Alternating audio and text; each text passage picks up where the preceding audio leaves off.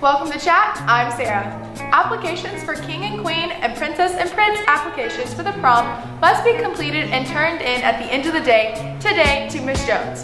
If you are a junior or senior homeroom, please see Miss Jones set up a prom schedule.